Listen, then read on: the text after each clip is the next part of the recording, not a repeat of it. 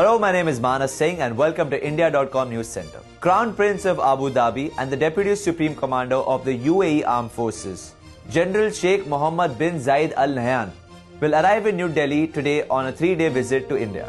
He will be accompanied by a high level delegation including ministers, senior officials, and captains of industry.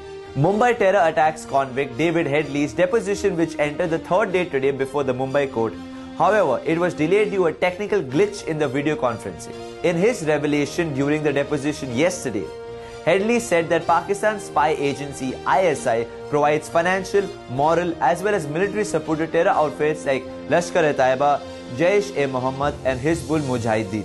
Delhi Chief Minister Arvind Kejriwal will today hold a review meeting on the implementing of the second phase of odd-even plan in Delhi.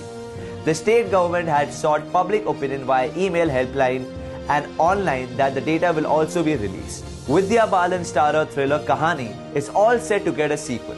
The 2012 thriller, director Sujoy Ghosh said in a recent interview, Yes, Kahani 2 is happening. It is in the pre-production stage. Vidya Balan will star in the film and major parts of the film will be shot in Kolkata. Haryana's health minister Anil Vij has said that those who cannot live without eating beef should not visit the state. Opposition has come out heavily in protest against the statement. Popular Punjabi comedian and Bollywood actor Gurpreet Guggi today joined the AAP Aam Aadmi Party before the Punjab Assembly polls next year. Guggi is the second Punjab actor to join the party.